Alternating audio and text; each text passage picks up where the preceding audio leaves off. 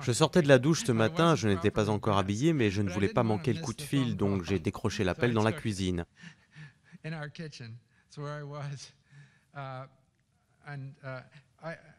C'est là où je me trouvais. J'étais surpris quand c'est arrivé, je ne m'y attendais pas.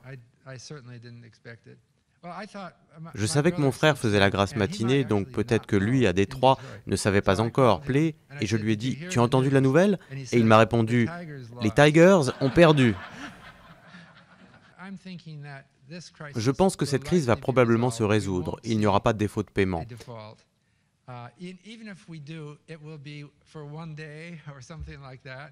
Même si c'est le cas, ce sera seulement pour une journée. Et si cela dure plus longtemps, ce n'est pas la fin du monde. Les marchés pourraient perdre 7% en un jour, puis remonter.